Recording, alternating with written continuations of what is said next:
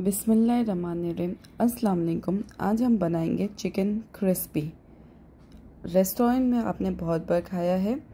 ये सेम वैसे ही टेस्ट देगा। आइए इसकी शुरुआत करते हैं। हमने 700 ग्राम चिकन बोनलेस लिया है। इसको क्यूब्स में काट दिया है। इसमें हम आधा चम्मच काली मिर्च डालेंगे और एक चम्मच सफ़ेद काली मिर्च डालेंगे। आधा चम्मच नमक। जैसे कि सॉसेस में नमक होते हैं इसलिए हम आधा ही चम्मच नमक डालेंगे। एक चम्मच ब्लैक सोया सॉस, एक अंडा जिससे हमारा चिकन अंदर से जूसी रहे और बाहर से क्रिस्पी रहे। दो चम्मच मैदा और तीन बड़े चम्मच कॉर्नफ्ला जिससे हमारे चिकन में अच्छे से क्रिस्पीनेस आए। इसे हम मिला के अच्छे से पाँच घंटा मैरिनेट होने देंगे और डीप फ्राई कर देंगे। आइए इसकी सॉस बनाते हैं, क्रिस्पी की। सबसे पहले हम कढ़ाई में तेल गरम करेंगे और उसमें छः बड़े चम्मच लहसुन बारीक कुटा हुआ डालेंगे। लहसुन को बारीक चॉप किया हुआ है।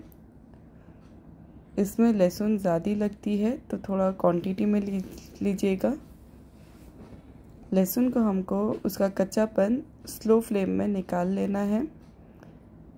फ्लेम को स्लो रखेंगे और इसे बीच बीच में चलाते रहेंगे और इसके जितने भी कच्चापन है, लहसुन के, वो हटा देंगे। हल्का सा लाल करेंगे। एकदम ब्राउन नहीं करनी है। अब इसमें हम एक प्याज चोकन, एक प्याज हम काट के डाल देंगे और एक शिमला मिर्च भी डालेंगे।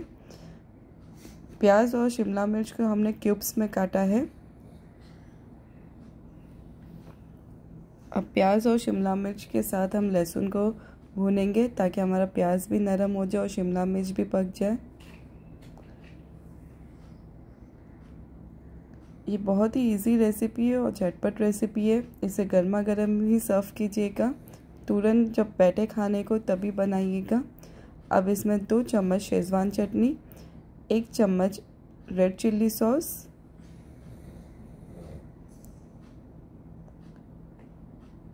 और आधा चम्मच ब्लैक सोया सॉस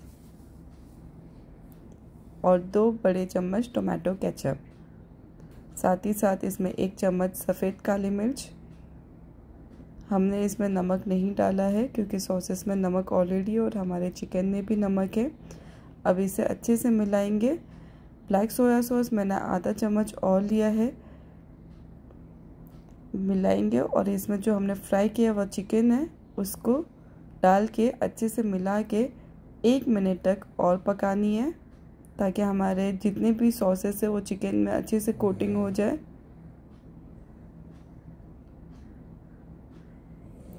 फ्लेम हमारा मीडियम ही रहेगा।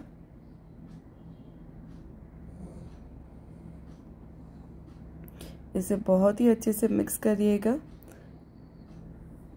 हमारे चिकन में अच्छे से सॉसेस का कोटिंग होना चाहिए। एक मिनट हो जाए तो इसे हम निकाल लेंगे। अच्छा इसमें मैंने एक पिंच शक्कर डाला है, ये टोटली ऑप्शनल है।